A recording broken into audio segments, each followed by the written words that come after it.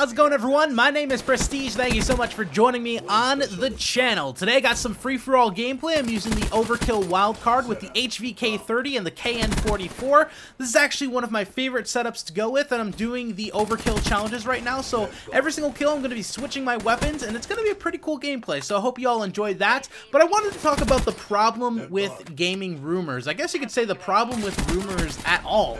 Uh, you know, someone says one thing, and people start to believe it because that person has a big following or whatever the case may be. But a lot of times, this is going to result in a big backlash or something that you really wouldn't want for your channel. And I know that a lot of people love talking about rumors, and one of those rumors would be, once you hit level 1000, you unlock the Bowie knife or the Bowie knife in Call of Duty Black Ops 3. Now, I firmly believe that this is not true. I firmly believe this is fake, and that is what I'm going to say. I'm not going to be showing you video because I obviously think that the footage is modded. The gamer tag or the PSN in question was definitely modded because what happened was, if you look at the statistics, it shows that the person is level 1000 in one day gameplay time, and it also shows only 900 deaths, which would be literally impossible in a game like Call of Duty Black Ops 3.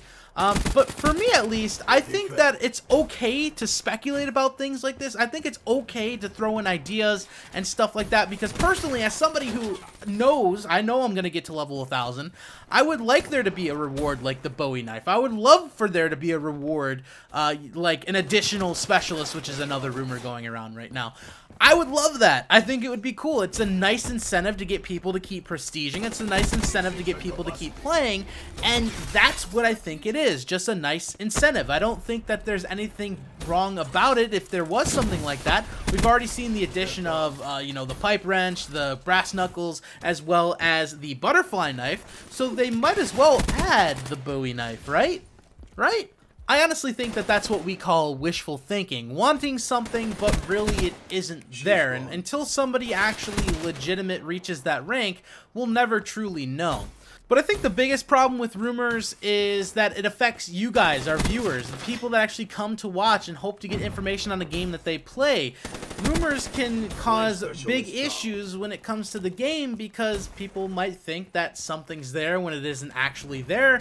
For example, the whole skill-based matchmaking thing that happened last week or a couple weeks ago, and now the Bowie knife thing uh, you're gonna start seeing people sending pictures of like multiplayer maps and weapons that aren't in the game. I know that there's been a few glitched pictures that show like MP underscore array, and array was actually a map from a previous Black Ops game. And then we also had like the PDW 57, which is a submachine gun from Black Ops 2, and we've seen those pop up. It's like MP underscore PDW underscore 57, and it just shows up, and people immediately think that these are coming back. Oh, these are coming back. Let me make make a video about this. It's coming back to the game.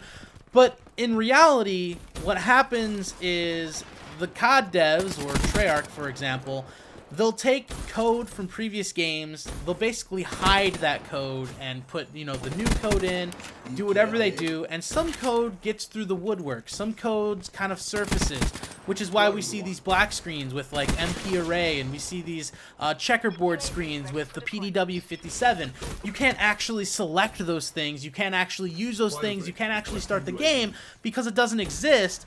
It might not necessarily be coming back, but it might not necessarily mean anything at all, and that's where rumors play a big role in affecting you guys, not only, uh, you know, other YouTubers as well on reporting this information, but the viewers, and that's why they're a big problem to me, because I feel like integrity is a really big part about being a YouTuber. You have to be true to your viewers in order to be true to yourself, and that is one major thing that you guys will never see me do here on the channel, and that is reporting fake information. I usually wait until it's reported from Treyarch or Activision or somebody official before actually talking about it, but things like this kind of get under the radar, and there are things that we can talk about speculation-wise.